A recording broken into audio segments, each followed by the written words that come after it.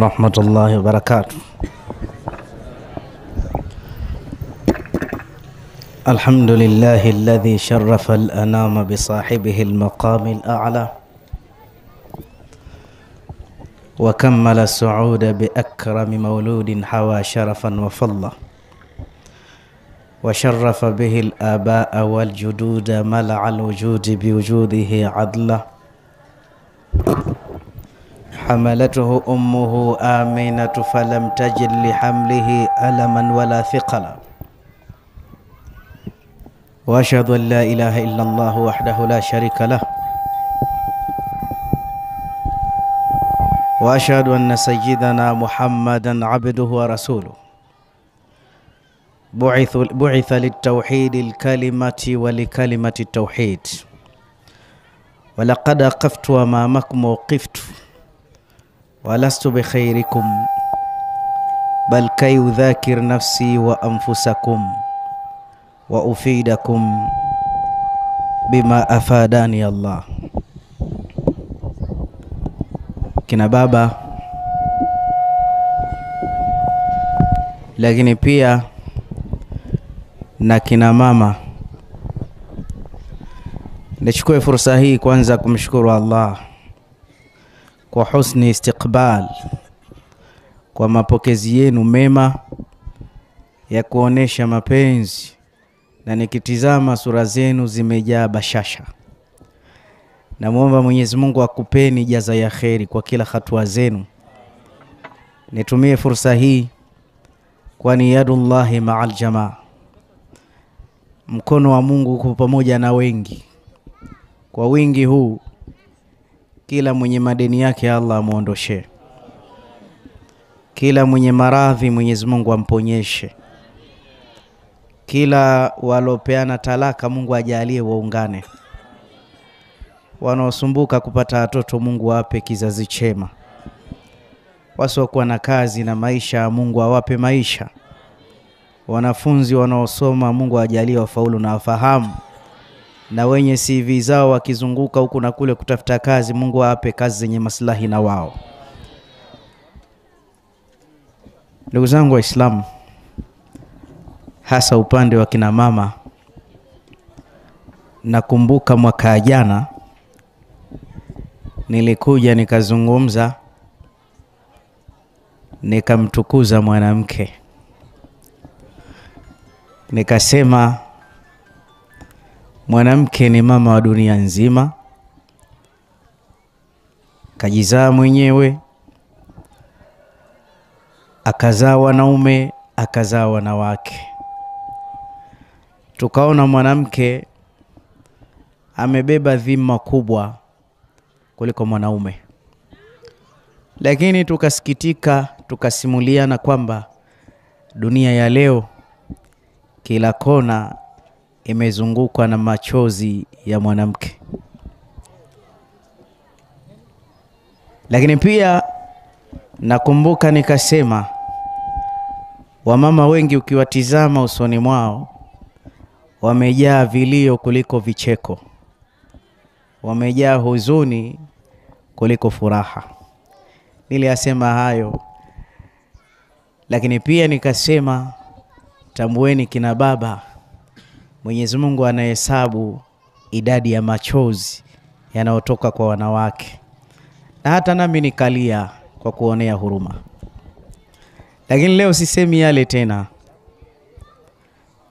leo sisemi yale tena, nasema upande wake wa pili, kwa hao hao kina mama wanasema ukimpata mtu akikuambia I tell you the truth, na kuambia ukweli, nakupa live, akakupa maneno japo yakakuuma, usimchukie, mpende sana. Mtu anayekuambia ukweli amekusaidia. Leo kina mama, kuna ukweli kidogo nitakuelezeni kwa nia nzuri tu. Wanawachuoni walisafiri wakaingia nchi ya Madina, wakafika katika nyumba ya Imamu Darul Hijra Maliki ibn Anas, malayin almuslimin.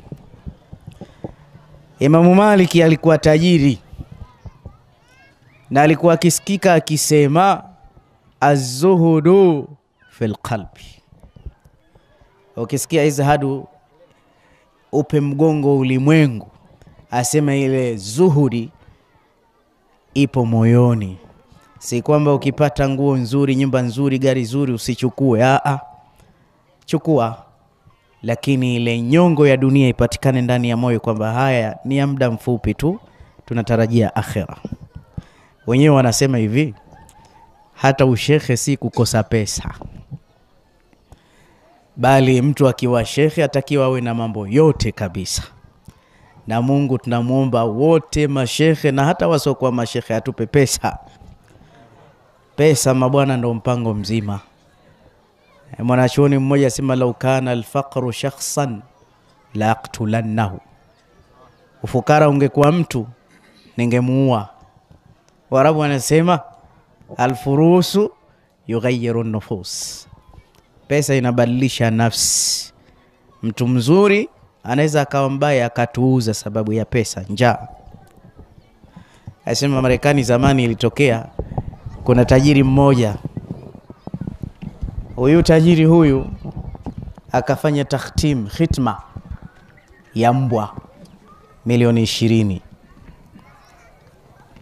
milioni ishirini mbwa kalbun annajasatu mughalladha, najisi nzito, hata tunamwogopa kumshika. Kafanya khitma yake milioni ishirini. Wakatoka maustadhi mujahidina na bakora zao, walivyofika pale, wanaona vitabu vimekusuliwa, watu wanasoma, wakasema yani, jamani, pesa zote na visomo vyote mmekusanyika, mna mrehemu mbwa. Kwa nini mnafanya hivyo? Tunamtaka alofanya haya.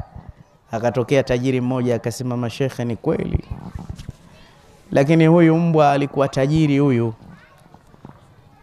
akatoa milioni ishirini, akasema milioni kumi tupike, tule, tufurahi.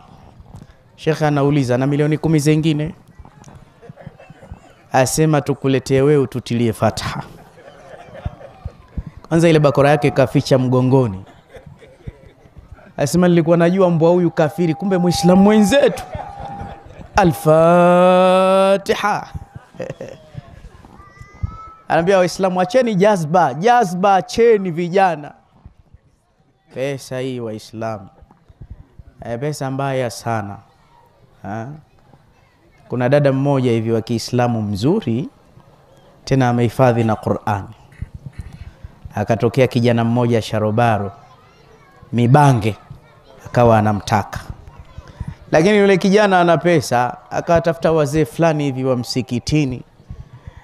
Alivyowaona akawaambia, mi yule binti namtaka. Ambia ah, baba yake tena ndo Ansari Suna, huwezi kupata mtu kama we. Ambia wazee, nendeni kaniposee. Akatoa mapesa akawapa wazee, wasema we, mbona unaoa bwana we mjahidina kabisa wewe. Wakaenda, walivyofika kule posa zinaanza. Mzee mwenye nyumba akasema, unajua juu ya msahafu kitabu chengine hakikai. Binti yangu ni hafidha, sitaki mchezo. Miaka mitatu anasugua kichwa, alokuja kuoa ni hafidh wa Qurani. Mzee wa mwanzo aliochukua pesa akasema halina neno hilo, kijana anajitambua mzuri kabisa huyu.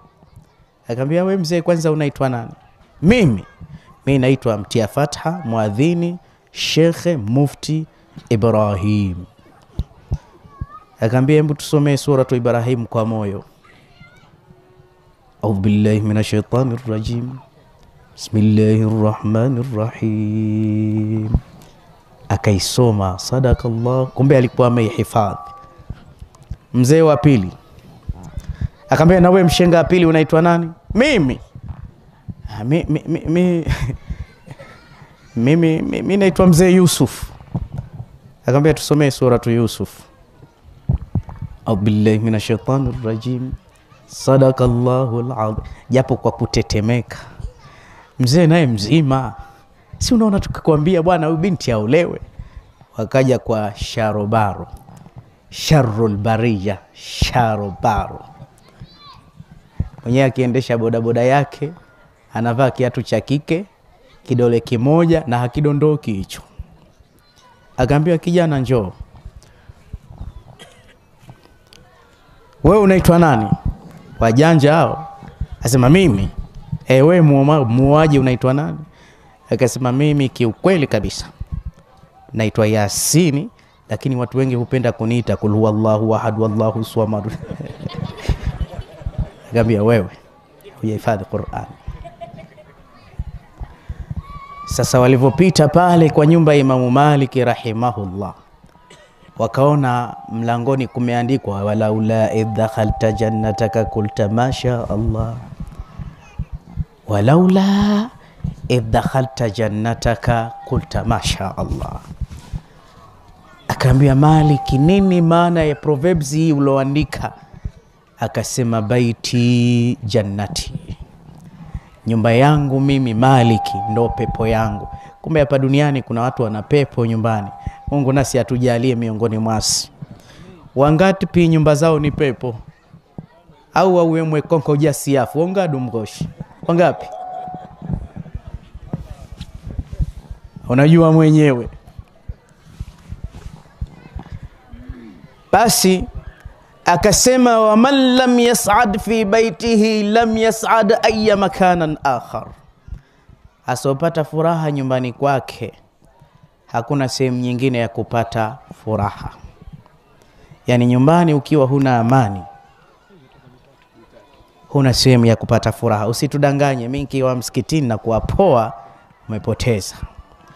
Wa man lam yuhibbu ahluhu na yule ambaye familia yake hawana mapenzi naye hawampendi hakuna mtu wa nje atakayempenda.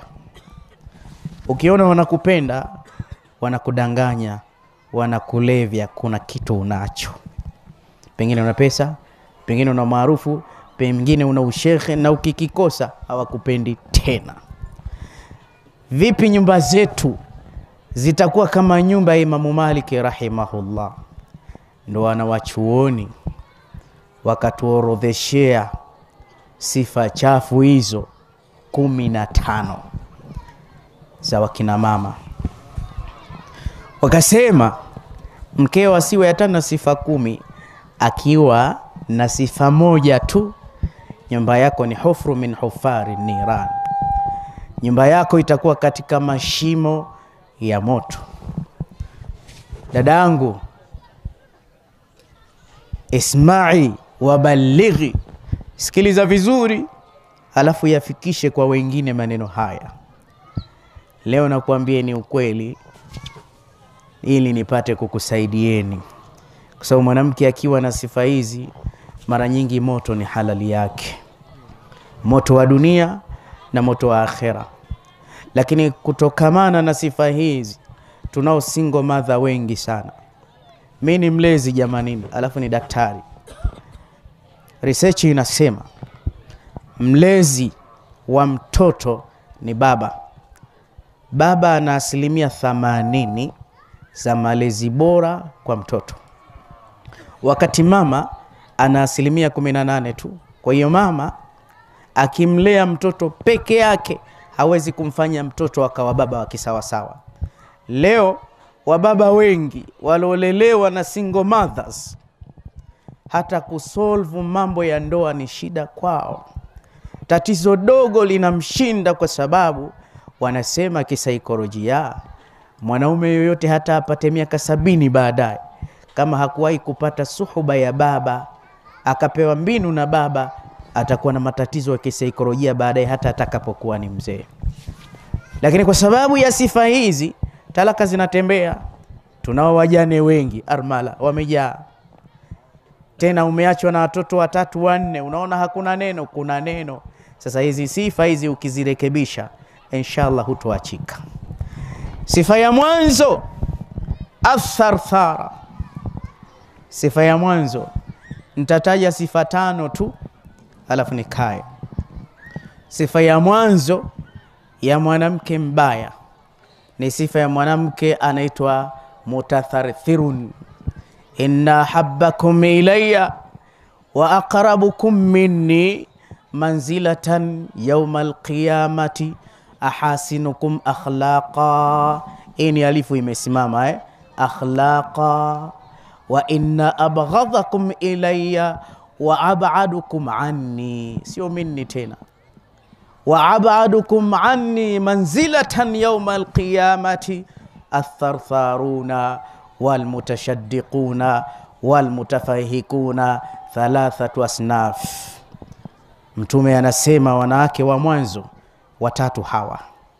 Wa mwanzo atharthara, mwanamke ambaye ana maneno mengi. Kina mama nisikilizeni, wenyewe wanasema umbea ni faradhi, kusutwa sunna. Wanasema maneno haya. Atharthara ni mwiko. Mwanamke wa mwanzo ni mwanamke ambaye ana maneno mengi makali, maneno ya hovyo, mpaka we baba unamwogopa. Nilikutana na mwanamke mmoja wa Kizanzibari. Huyu mwanamke akanishtakia akasema, Shekhe, mimi nimeolewa na mume wangu tena ni alhaji, namwekea maji ya alud, nampikia tuje tule kwa pamoja Zanzibar, na dada mwenyewe ukimwangalia anaeleweka, lakini ananirudia saa sita za usiku, naweka wanja mpaka unakauka, ongea na mume wangu. Mimi nikasema asiokuwa na bahati ya bahatiki, tunataka wanawake kama hawa. Nikamwita yule bwana ofisini kwangu, nikamwambia yahe, una neema wewe. Asema mimi nina nakama yahe, Asema mimi shekhe, nilikuwa namwomba Mungu nsile maskani nimpate mwenzangu tukae tule pamoja, lakini tatizo la huyu mke wangu ana ulimi anaongea. Kwa hiyo nkirudi mapema, risala atasema, atatweta mpaka kichwa kinaniuma. Kila siku tuna vikao sisi, kila siku kesi sisi. Sasa naona bora ustadhi nichelewe, angalau nimkute amelala. Atharthara tunao hatunao? Kwa kweli sikufichi, Waislamu, mdomo kwa mwanamke unaudhi kweli kweli, unakonda. Mara nyingine unatembea unaongea peke yako barabarani, unakuwa kisirani Ustadh Rashidi, salamu alaikum. Ah, nenda bwana wewe. Kumbe maskini kashatebuliwa huko.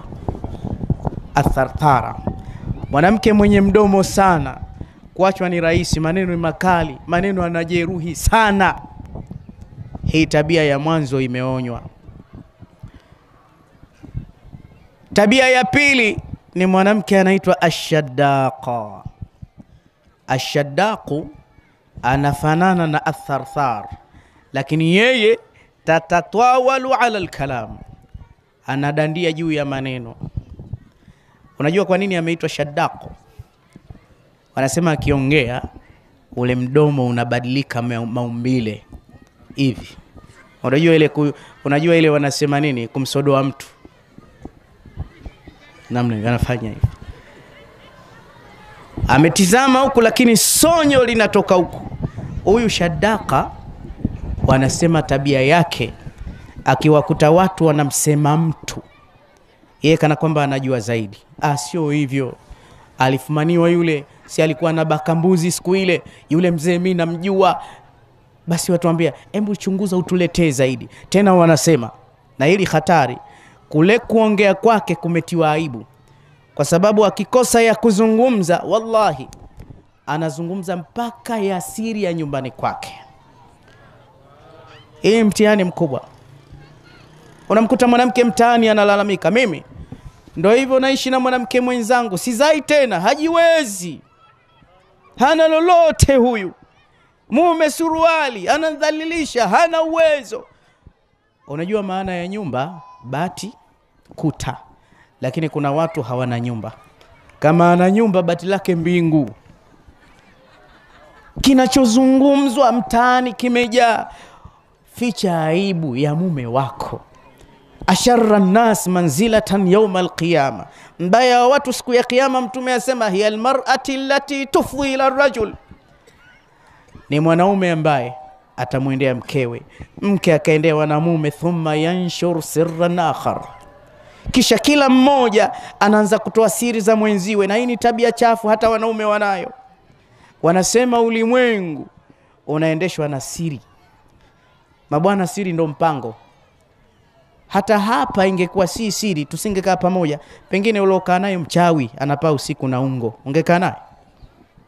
Pengine uliokaa naye mwizi wa viatu, pengine uliokaa na hata wewe mkeo angekujua siri zako, asingekubali kuolewa na wewe. Wewe mwenyewe si unajijua bwana, na wewe ukimjua unaenda kumwacha sasa hivi. Siri. Kwa hiyo ndani ya majumba lazima siri ziwepo, lazima tutunziane siri. Hili ni jambo muhimu sana, hasa watu wakiachana, wanza kutoleana siri hovyo hovyo. Kwa hiyo mwanamke ambaye anatoa siri, na Mwenyezi Mungu amejalia binadamu wanayataka mazuri, ila hawajui yaliyokuwepo. Nakwambieni siri hii, ni siri. Hizi gari ilizokuja nazo mabwana, kuna gari moja nimeweka hela ndani na sikuambii ni shilingi ngapi. Kijana mmoja nikamwambia, we nilindie pale, kwa sababu kuna siri, hamwezi kwenda kuchukua. Umeelewa vizuri? Sasa pia binadamu wana desturi ya kutaka vitu vizuri, lakini wanashindwa kwa sababu ya siri. Msikitini pale kuna pesa, lakini hujui ziko wapi kwa sababu ya siri.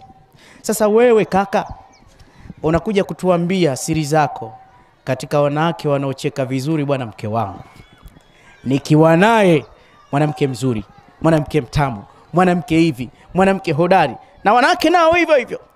Sasa unamkuta mtu asema ala, kumbe huyu bwana anapata raha hizi, faida hizi. Unakuta mtu anazungumka kwa mlango wa nyuma, anakuchukulia mkeo, na wanawake ndo zaidi. Unamkuta mwanamke tena anakana na mabinti wadogo anasoma, anaanza kutoa siri za mumewe. Usimwone yule vile alivyo, japo ni mzee, ana mambo yule yule, mwone hivi hivi. Siku mbili tatu unasikia shemeji, hayo mambo tupeaneni basi jamani, mbona hivyo? Wakuta ndoa yako inavunjika kwa ulimi wako mwenyewe.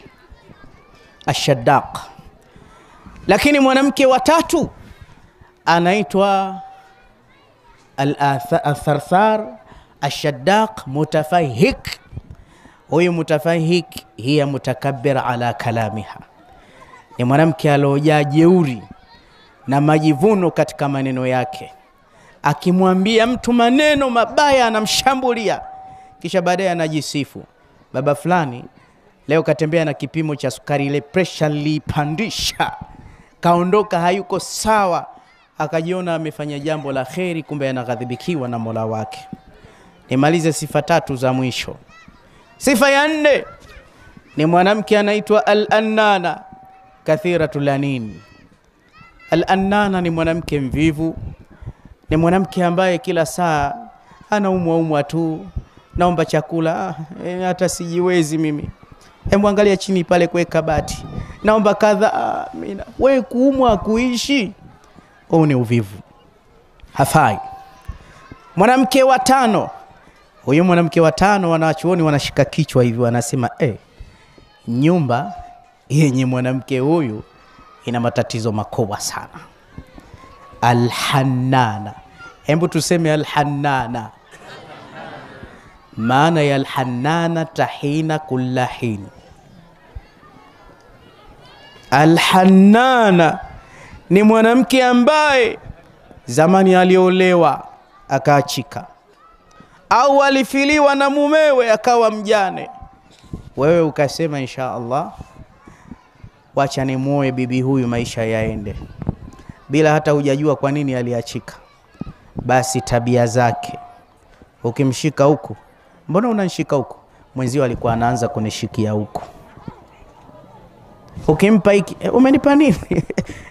we maskini wewe, mwenzio alikuwa akinipa hivi ukimpeleka Rushoto kwa mwezi kuchukua nguo, we kwa mwezi shopping mara moja.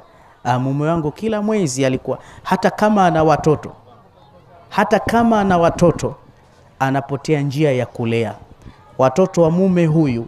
Wana penzi lake na watoto wa mume mwingine wana penzi lake. Utadhani hiya tuhibu hubu madhi, utafikiri lile penzi lilopita analihitaji. Sasa tabia mwanamke huyu mwanaume, kila ninachofanya fulani, mara nyingine mpaka unakufuru, basi mfuate mume wako kaburini.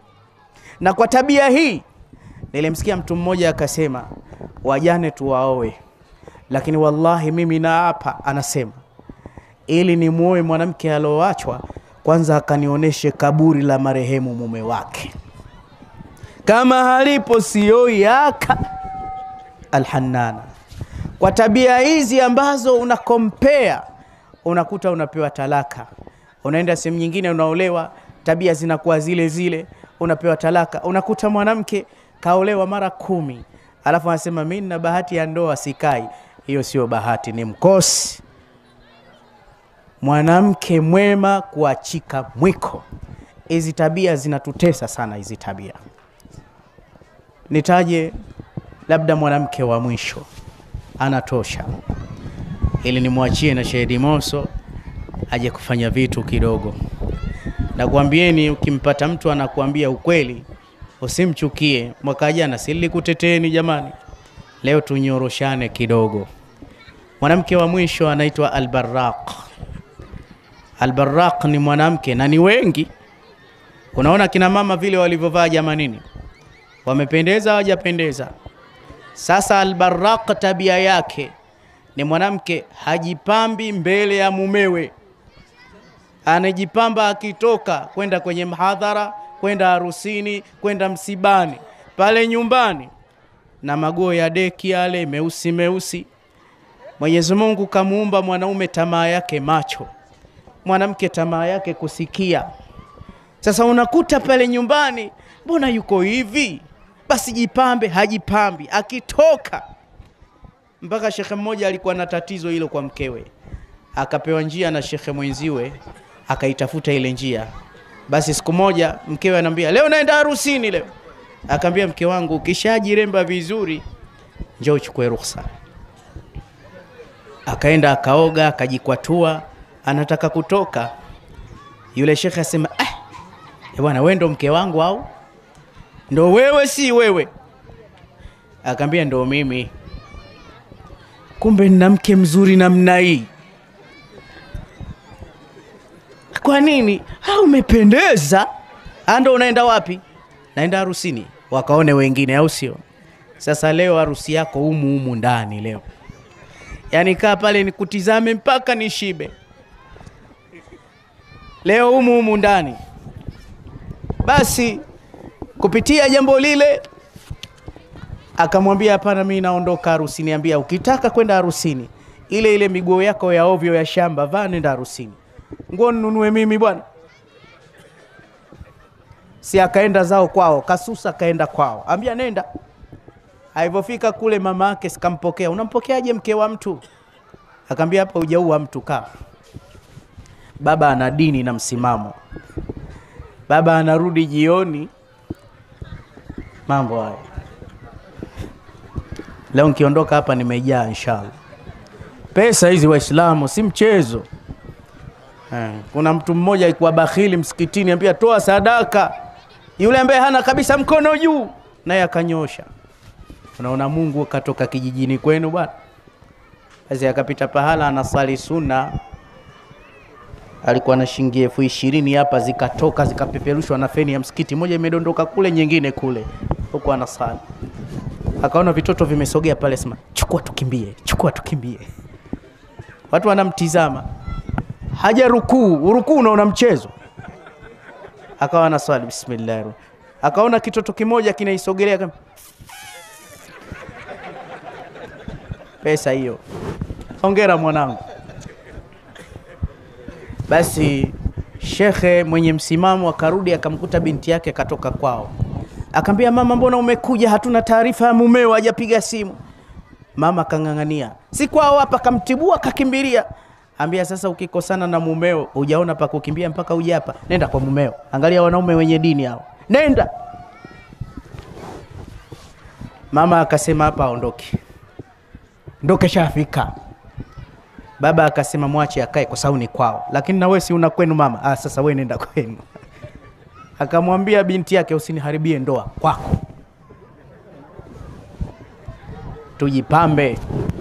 La mwisho, hao wanawake ili wajipambe, nasi tuwawezeshe jamanini, sawa? Tuwawezeshe, tuwanunulie, tuwape matunzo wapendeze, na miongoni mwa matunzo tuwape maneno mazuri. Wanasema mwanaume, mambo matatu asikushinde. Wanasema mfuko usikushinde kwa mkeo, lakini mdomo pia usikushinde. La tatu naweka akiba kwa kufunga maneno. Mtu mmoja alikuwa kule Dar es Salaam akaoa mwanamke pande kama za Singida hivi. Yule mwanamke alikuwa mzuri, lakini hakumpa matunzo, hakumpa maneno mazuri. Yule mwanamke akafubaa, akawa mweusi. Kukawa kuna bwana mmoja jirani yake anapita, ala, akamwona mwanamke asema, da, huyu dada ni mzuri, lakini kakosa matunzo na mwanaume mwenzio anatizama udhaifu wako. Basi yule bwana hajawa na mengi, kila akipita asubuhi, shemeji, salamu alaikum, hali yako bwana, mzima? Yule dada asema huyu eh, anajuana na mme wangu nini huyu? Haya, mi napita jirani yako hapa. Haya shemeji, eh, makubwa. Umeona hiyo bashasha? Akirudi mume mme wangu za asubuhi, ambia labda ukuta mme wangu za asubuhi, kama ulize jogoo bwana, za asubuhi umeziandika we, sinzingue mimi. Tupo hivyo, hatupo hivyo? Angalia mwamba huyu, kesho kapita tena, kila siku anaongeza maneno. Shemeji, vipi shemeji, mzima afya mwenzangu mi jirani yako shemeji. Ah, ah, shemeji, mi napita bwana. Salamu hizo. Siku ya tatu yule mwanamke akawa anazoea mpaka anatoka mapema barazani, maka yule bwana akaanza kusifu, ah, shemeji, we mtu wa wapi wewe? Ndo umefagia uwanja namna hii? Yaani umeosha masufuria yamekuwa kama ki... we hodari wewe, shemeji wewe, shemeji. Ah, bwana haya shemeji, haya kwa hili Mpaka yule bwana hacheki na mumewe, anacheka na mtu kando, mpaka anajitoa mapema barazani, anasubiri shemeji apite. Mbona simoni yule kaka, au keshapita, kasha misi vicheko vile. Siku moja yule bwana sikajiongeza na, na wanahatari hawa, akaambia shemeji, bwana we mzuri sana wewe, wallahi mzuri tena, Mungu kakupa kila kitu, kila kitu kimoja ujapewa shemeji. Asema nini? Namba zangu za simu hujapewa, hujapewa. Wakabadilishana namba za simu, walivyobadilishana zile namba za simu dakika tano nyingi, kamwingizia elfu tano. Mbona umenitumia pesa? Ambia hiyo vocha shemeji, sina nia mbaya. We shemeji yangu, una nia mbaya we. Kesho elfu hamsini. Vipi shemeji yangu, soda hiyo. Siku mbili laki mbili. Vipi sasa? Sasa ukali umepungua. Shemeji vipi, mbona unajisumbua jamani?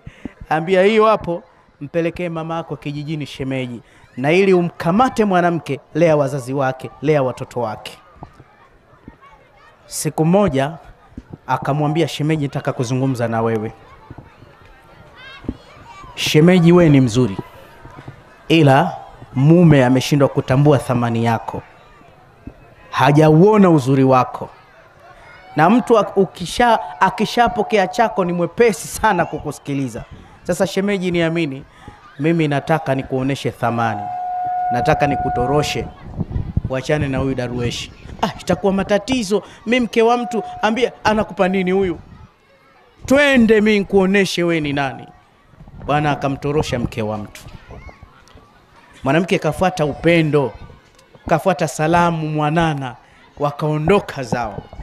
Aliwamchukua tukampeleka saluni ambia nywele zinakuwaje kipilipili, sukwa hapa, nywele zikawa laini. Akamnunulia mafuta, ngozi ikarudi. Kampeleka hoteli, vyakula vya afya, mwanamke katononoka, matumaini kang'ara. akamleta kwenye kioo, ambia huyu nani? Unajua alisemaje? "Da, yule Mungu amlaani yule mzee, alikuwa ananifuja nimezeeka hivi jamani. Sasa siku moja wakawa wanatoka na yule mke wa mtu wanaenda, wanaenda shopping kununua nguo. Yule bwana yupo na gari, wakapita sehemu kijiwe cha kahawa. Walivyopita amefungua ki, kioo cha gari, yule mwanamke akamwambia, naomba pandisha kioo cha gari sasa hivi. Ambia kwa nini? Ambia unaona wale waliokaa pale, mmoja mume wangu kisirani yule akituona. Yule bwana akasema hapa ndo liko napataka akaweka reverse akasogea mpaka pale, akaambia yule mwanamke shuka, itakuwa hatari, nakwambia shuka, we shuka, upo na kidume bwana. Akashuka. Si unajua wanaume wakiona wanawake wanakohoa bila kuwa na kikohozi. Wote walivyomwona mdada mweupe, shepu imekolea, kila mmoja eh, umeona mtoto kama kashushwa hata yule mume wake kamsahau, ambia eh, Mungu anaumba shekhe, Mungu anaumba, kisha msahau. Mwanamke akikosa matunzo anakuwa mbaya.